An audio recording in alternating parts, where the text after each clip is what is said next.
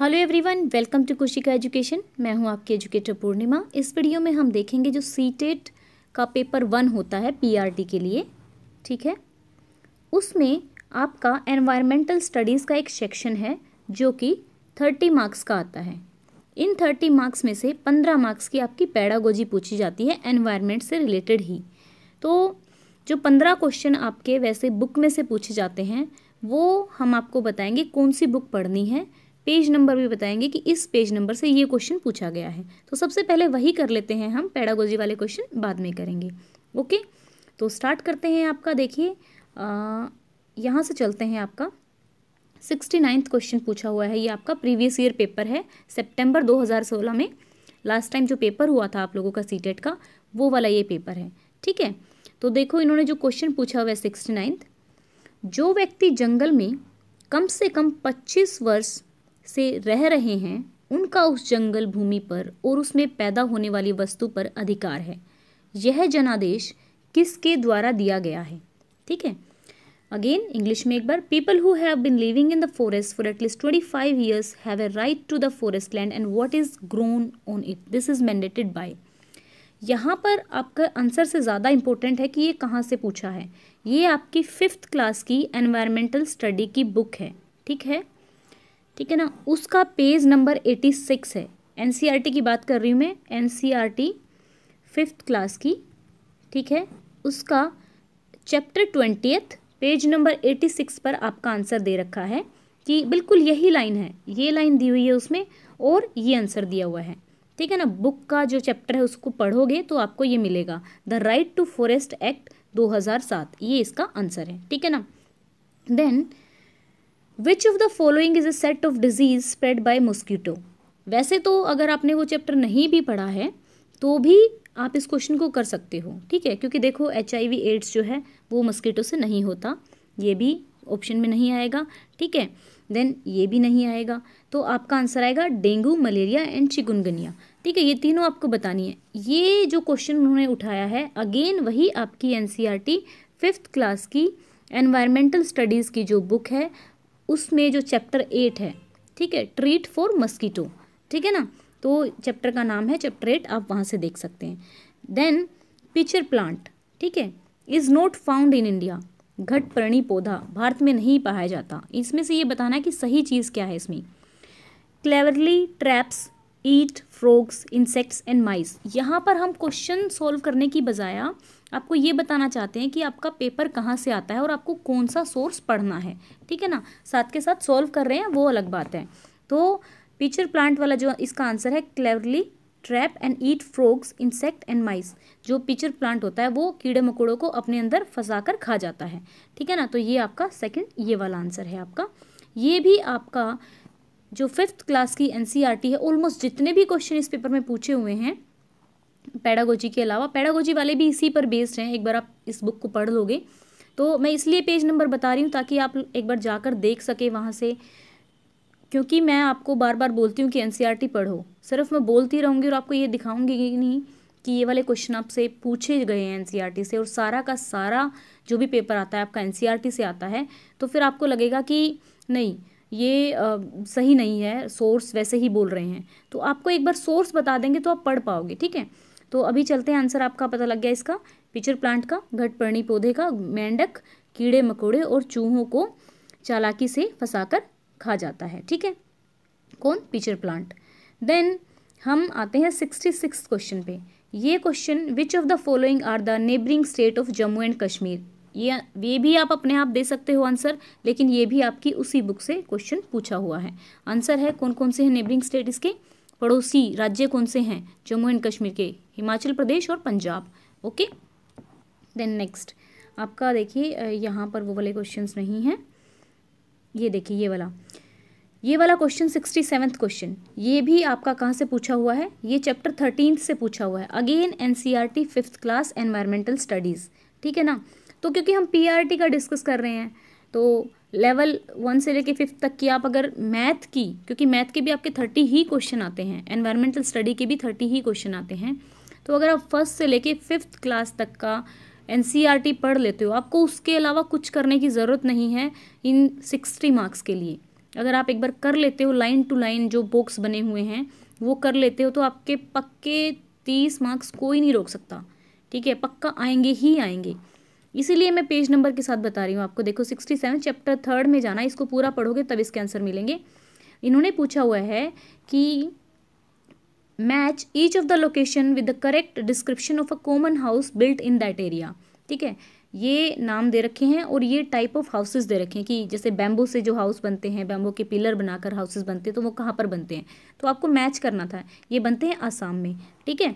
Then Manali में कैसे बनते हैं? हाउसेस जो स्टोन और वुड से बनते हैं, ठीक है? और उनकी जो रूफ होती है, वो भी कैसी होती है? तिरछी होती है। ढलान बनी होती है उन पर देन ये लद्दाख वाले जो होते हैं फ्लोर वुडन जो वुडन की होती है, छत होती है house made of stone with wooden floor ठीक है? जो फर्श होता है, वो आपका वुडन का होता है और सीलिंग होती है, वो भी वुडन की होती है, ठीक है ना? तो ये आपका सिक्सटी सेवन्थ क्वेश्चन है, ये आपका चैप्टर थर्टीनथ में से दिया हुआ है। अगेन फिफ्थ क्लास की एनसीईआरटी ठीक है ना? देन नेक्स्ट चलते हैं हम। ये हमारा हो गया था फॉरेस्ट राइट एक्ट वाला। ये देखिए आपका। The different pattern on the skin of animal are ये कह रहे हैं कि जो जैसे कि शेर पे वो पैटर्न बने होते हैं लंबी लंबी पत, मतलब ऐसे धारियाँ सी होती हैं जेबरा पे धारियाँ सी होती हैं तो वो किस वजह से होते हैं? Due to hair on their skin ठीक है? उस वजह से होती हैं।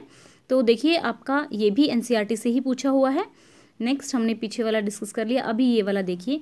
Which of the following set of a table rich in iron again ये आपका फ़ूड वाला डाइजेशन वाला एक चैप्टर है उसी एनसीईआरटी में। ये वहाँ से पूछा हुआ है आपका। ठीक है ना? देन ये वाला क्वेश्चन बिल्कुल एग्जैक्ट लाइन उठा रखी है। Almost in every part of our country chilies are added while cooking food chilies are brought to our country by trader who came from वो कह रहे हैं कि जो आ, मिर्ची है ठीक है ना? वो कहाँ से आया है हमारे देश में? पेज नंबर फोर्टी नाइन पे चैप्टर लिखना मैं भूल गई।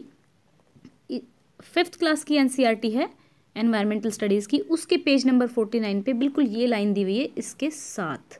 ठीक है? आपका साउथ अमेरिका से इंट्रोड्यूस हुआ है ये, दक्षिण अमेरिका से हमारे पास चिली आया है।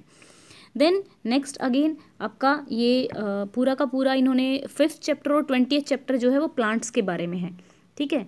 तो वहाँ से आप इस क्वेश्चन को कवर कर सकते हो. सेवन एक भी क्वेश्चन आपका बाहर से इन्होंने नहीं पूछा हुआ. सभी क्वेश्चन उसी एनसीईआरटी से आए हुए हैं. मैं ये नहीं कह रही कि आप उसी एनसीईआरटी को पढ़ के जाओ, उसको डेफिनेटली पढ़ के जाओ. प्लस में जो फोर्थ क्लास की एनसीईआरटी है, बिल्कुल एक दिन में कंप्लीट हो सकती है. ठीक है? बिल्कुल छोटी सी एनसीईआरटी है, फटाफट पढ़ी जाएगी. दो तीन बार उसको पढ़ लो तो एटलीस्ट आपके थर्टी मार्क्स तो कंप्लीट हो जाएँगे. ठीक है ना? Then read the following description of an animal it looks like a bear but it is not ये बियर की तरह दिखता है, लेकिन है नहीं. It spend almost seventeen hours a day sleeping while hanging upside down उल्टा लटक के सोता रहता है ये, ठीक है? It eats the leave of the same tree on which it live it lives for about forty years तो इसका नाम क्या है? स्लोथ चैप्टर वन है चैप्टर वन में से आपके तीन चार क्वेश्चन उन्होंने पूछे हुए हैं। चैप्टर वन पर ही बेस्ड हैं जो। बिल्कुल डायरेक्ट आपके वहाँ से पूछे हुए हैं। तो इसका ही चैप्टर वन में ही आपका दिया हुआ है सेवेंटी फिफ्थ क्वेश्चन का आंसर स्लोथ पियर ठीक है? देन देखिए which of the following group of animal has excellent sight and can see the things four times more than humans ठीक है? ये भी आपका चैप्टर वन से ही दिया हुआ है। ठीक है? चैप्टर वन के लास्ट वाले पेज पे दिया हुआ है ये आपका काइट ईगल एंड वल्चर अभी जब हम इस लेक्चर को एंड करेंगे कि सोर्स बता रही हूँ क्योंकि मैं आपको तो मैं आपको उस बुक का दिखाऊँगी कि वो बुक कौन सी है, ठीक है? एन e है, आपको मैं डिस्क्रिप्शन में लिंक दे दूँगी कि आपको वहाँ से डाउनलोड करनी है। अदरवाइज़ आप सबको पता ही होगा कि सभी एन e हम डाउनलोड कर सकते हैं एन e की साइट से जाकर, ठीक है? या फिर आप अपनी हार्ड कॉपी खरीद सकते हैं। नेक्स्ट क्वेश्चन है आपका read the given description of farming and identify its type ठीक है? After cutting the one crop वो कह रहे हैं कि एक बार जब हम एक फ़सल काट देते हैं, ठीक है? कुछ दिन कुछ दिनों के बाद उसको जो भूमि है उसको छोड़ देते हैं, ठीक है? वहाँ पे कुछ नहीं उगाते। द बैम्बो और weeds which grow on that land are not pulled out जो बैम्बो वगैरह वहाँ पर उग जाते हैं अपने आप तो उनको मतलब बाहर नहीं निकाला जाता, ठीक है? फिर थोड़ा टाइम बाद क्या करते हैं, वो उगकर बड़े होते हैं तो उनको काट के और उनको वहीं पे जला दिया जाता है। इससे जो आपकी एशिज बनती हैं, ठीक है, उससे जो भूमि होती है, उपजाऊ बन जाती है, फर्टाइल बन जाती है, ठीक है। तो ऐसा कौन सी कृषि में होता है, ठीक है, उस कृषि का नाम बताना है। ये झूम फ़ार्मिंग में होता है। आपका चैप्टर नंबर सॉरी हाँ chapter twenty, page number one ninety पे ये आपका दिया हुआ है इस क्वेश्चन का आंसर, ठीक है ना। बिल्कुल डायरेक्ट के डायरेक्ट इन लोगों ने क्वेश्चन पूछे हुए हैं। देन ये देखिए when a snake charmer play on his वो कह रहा है कि जब सपेरा ना बीन बजाता है तो सांप ना इधर उधर घूमता है तो वो ऐसे क्यों क्यों करता है? क्यों रिस्पोंड करता है इस तरीके से? तो आंसर है by responding to the vibration produce by the instrument ये भी आपका चैप्टर फ़र्स्ट और चैप्टर सेकंड दोनों को मिला के आप इसको आंसर कर पाओगे, ठीक है? तो इसमें अराउंड जितने भी फिफ्टीन क्वेश्चन है ना बच्चों आपके जो आपके पैडागोजी से रिलेटेड नहीं है, ठीक है? वो क्वेश्चन आपके जो फिफ्थ क्लास की एनसीईआरटी है, उसमें से पूछे हुए हैं। आप खुद एनालाइज कर सकते हैं, ये सितंबर 2016 का पेपर है आपका। एटीएथ क्वेश्चन हम देखते हैं। The gastric juice in the stomach of a human being ये इसका आंसर आपको पेज नंबर थर्टी वन पे दिया हुआ है, वही डाइजेस्टिव वाला। एसिडिक इसका आंसर है, ठीक है?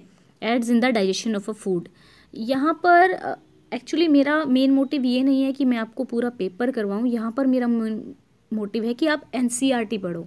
मैं यहाँ पर एक तरह से कह सकते हो कि मैं प्रूफ दे रही हूँ कि क्वेश्चन आपके एन e में से ही आएँगे। आपका सीटेट अगर आप एन e पढ़ोगे तो कोई नहीं रोक सकता कि आपका सीटेट क्वालिफाई ना हो। पक्का पक्का आपका क्वालिफाई होगा। जिस तरीके से हम पैडागोजी के क्वेश्चन सॉल्व करते हैं, बाकी क्वेश्चन भी आप अपनी कॉमन सेंस के साथ सॉल्व कर सकते हैं। ठीक है ना? तो ये तो मैंने आपको सोर्सेज बता दिए हैं कि किस टाइप के क्वेश्चन इन्होंने पूछे हुए हैं। जैसे उसी चैप्टर में ये दिया हुआ है कि इंडिया में कौन से टाइप के सांप पाए जाते हैं। ठीक है ना? बहुत सारी चीज़ें हैं, जब आप पढ़ोगे हो सकता है नेक्स्ट टाइम ये चीज़ें ना पूछ के वो चीज़ें पूछ लें। तो आपको वो वाली एन कवर e करनी है। अभी कुछ दिन में लाइव आएँगे तो मैं आप लोगों से पूछूँगी कि आपने कितना पढ़ा एटलीस्ट वो फिफ्थ क्लास की एन e आप तब तक ख़त्म, जिन लोगों का at least three triple S B का एग्ज़ाम नहीं है तो वो उस चीज़ को ख़त्म कर सकते हैं, ठीक है ना? जिनका डी ट्रिपल एस बी का एग्ज़ाम है, वो तो भी उसी एग्ज़ाम के लिए फोकस करें। अभी हमारे पास सी टेट के लिए बहुत टाइम है, क्योंकि दिसंबर में एग्ज़ाम होने वाला है। तो इसी तरीके से हम पैटर्न एनालाइज करेंगे, वो चीज़ें, वो रिसोर्स पढ़ेंगे आपके। ठीक है ना? काफ़ी टाइम लगा मुझे एक बार मैंने इसको एनालाइज करने में।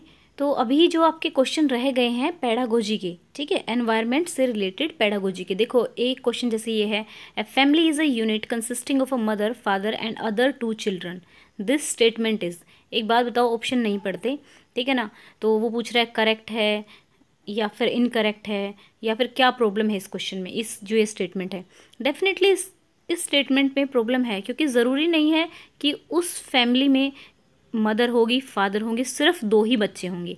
दो से ज़्यादा बच्चे भी हो सकते हैं, दादा दादी भी हो सकते हैं, ठीक है ना? तो यहाँ पे ये जो स्टेटमेंट है आपकी इनकरेक्ट है।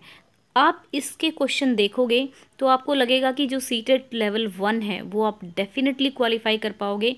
देखो ना, अगर आप एन e पढ़ लेते हो फ़र्स्ट से लेके फिफ्थ क्लास तक की, ठीक है मैथ्स की एंड ईवीएस की, ठीक है ना सिक्सटी मार्क्स आपके कहीं नहीं गए। एक भी क्वेश्चन गलत होगा ही नहीं आपका, ठीक है? और प्रीवियस ईयर जो पेपर हैं आपके वो करके जाते हो तो। ज़्यादा प्रैक्टिस सेट क्या करना है? प्रैक्टिस सेट आप प्रीवियस ईयर ही कर लो, उनको ही कर लो। तो वहाँ से आपके सिक्सटी मार्क्स आ जाते हैं तो आपको थर्टी मार्क्स और कवर करने रह गए। ठीक है ना? थर्टी मार्क्स की बाकी सेक्शन में भी फिफ्टीन फिफ्टीन मार्क्स की पैडागोजी आती है। और पैडागोजी के लिए एक माइंडसेट चाहिए होता है। अगर आप वो सीख लेते हो तो आपके थर्टी मार्क्स भी आराम से आ जाएँगे, कोई प्रॉब्लम ही नहीं है। तो सीटेट लेवल वन को इतनी ज़्यादा मेहनत की ज़रूरत नहीं है। बस एक बार आप ये जो एन है, ये कर लीजिए। अगर प्रॉब्लम आ रही है कोई तो फिर हम कवर कराने की देखेंगे, क्योंकि अब तो एग्ज़ाम थोड़ा दूर चला गया है तो हम आराम से प्रिपरेशन कर सकते हैं। ठीक है गाइज़ ये मैंने एनालाइज कर दिया था, मुझे लग रहा था कि आपका अक्टूबर में एग्ज़ाम हो सकता है बट अभी तो दिसंबर में हो गया है तो अब हम धीरे धीरे प्रिपरेशन कर सकते हैं। बाकी अभी जो लेवल टू है, ठीक है पेपर टू है, उसका पेपर एनालाइज करना है, देखना है, वो कहाँ से क्वेश्चन पूछ रहे हैं। वैसे तो मुझे मालूम है कि वो एन e से पूछ रहे हैं बट आप लोगों को पेज नंबर बताना ज़रूरी है। सो so दैट कि आप लोग एनकरेज हो सकें कि हाँ हमें एन e पढ़नी है। कोई उधर उधर मार्केट में नहीं जाना है। कोई फालतू की किताबें नहीं खरीदनी है। घर पे ढेर नहीं लगाना है किताबों का। जो ऑथेंटिक बुक हैं, वो पढ़नी है। ठीक है, एक दूसरी बात और मैं बताना चाहूँगी। एक बार आप ना सीटेट की साइट पे जाना। वहाँ पर ध्यान से देखना। बिल्कुल बोल्ड लेटर में उन्होंने लिखा हुआ है कि एन जो एन की जो बुक्स हैं, वही बुक्स पढ़ें, यानी कि उन्हीं पर बेस्ड जो सिलेबस है, वो आपका आने वाला है, वही आपको पढ़नी है। तो फिर वो जब वहाँ पर साफ़ साफ़ बोल रहे हैं तो आप डेफिनेटली वही बुक्स पढ़ें ना, क्यों आप इस चीज़ के लिए भाग रहे हो कि कोई अरिहंत लेना है, किरण लेना है? ठीक है टाइम बचता है प्रैक्टिस करनी है, क्योंकि पैडागोजी आपकी हर उसमें आती है एग्ज़ाम में आती है। वो अच्छी बात है जितना आप प्रैक्टिस करो, लेकिन पहले आप ऑथेंटिक सोर्स से पढ़ो, अपना सिलेक्शन पक्का करो ओके आई होप आप लोगों को अच्छा लगा होगा। जो आपके अभी पैडागोजी वाला पोर्शन रह गया है एनवायरनमेंट में, उसमें, उसको हम नेक्स्ट पार्ट में करेंगे, किस तरीके से हमें पैडागोजी करनी है एनवायरनमेंट की, वो भी हम देखेंगे। ठीक है? आपको बताना कि वीडियो कैसी लगी। Okay thank you